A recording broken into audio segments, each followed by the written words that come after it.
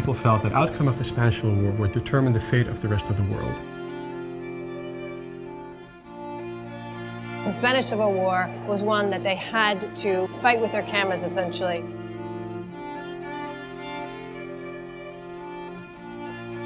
The approach to war photography hadn't really existed before Robert Capa.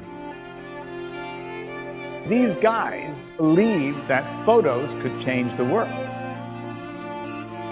Sometimes they succeeded. The photos they took changed what happened in the world.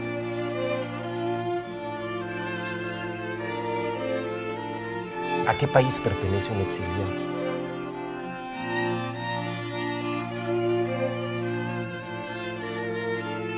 Por un momento hubo una especie de país, un país migrante, país intermedio, un país incierto, eh, un país imaginario que solamente existió gracias a los recuerdos.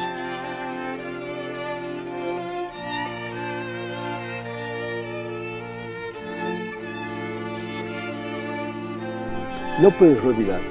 O sea, no se puede forjar un futuro sin memoria. La ayuda de México fue una ayuda abierta, directa, sin intercambios.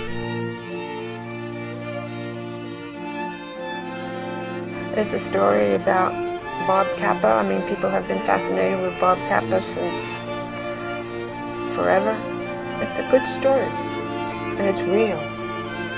It's real. And they were wonderful people.